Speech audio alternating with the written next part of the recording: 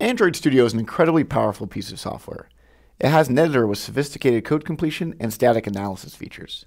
It also has a suite of tools for integrating with Android devices and emulators. The one thing it doesn't have, however, is an integrated build system. Android Studio delegates the entire build process to Gradle. That's everything that happens to turn your sources and resources into an APK that you can install on your device. Gradle itself doesn't inherently know anything about Android. That capability is provided by Google in the form of an Android Gradle plugin. Android Studio is actually happy to import and work with any Gradle project. We can use it to do all sorts of interesting things, like build Java libraries or deploy a backend service to Google App Engine.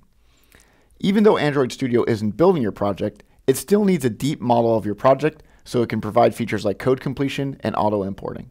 It maintains its own internal model of your project, and when a project is loaded or a Gradle build script changes, Android Studio needs to synchronize its internal model with Gradle's model. When you get a failed to sync message, it usually means you've just got an error in one of your build scripts.